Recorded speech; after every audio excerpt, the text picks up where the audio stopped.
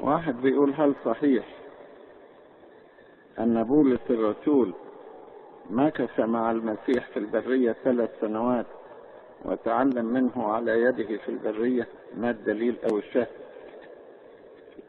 طبعا إحنا ما قلناش إن دي عقيدة عندنا في الكنيسة القبطية عشان تقول لي إيه الدليل والشاهد.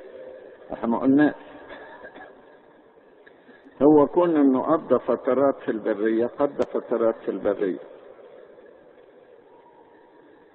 لكن ظهر له المسيح في البرية أو اقام معه بامر ما مش موجود في الكتاب المقدس.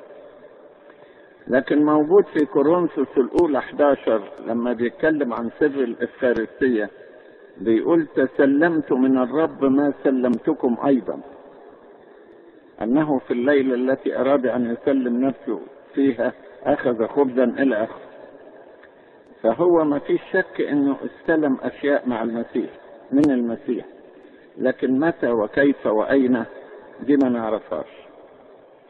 إحنا نعرف إن السيد المسيح ظهر لبولس الرسول في طريقه إلى دمشق.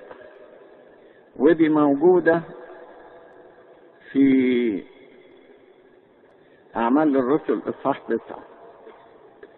وذكرها أيضا في أعمال 22 وقال أيضا أن الرب وقف به وشجعه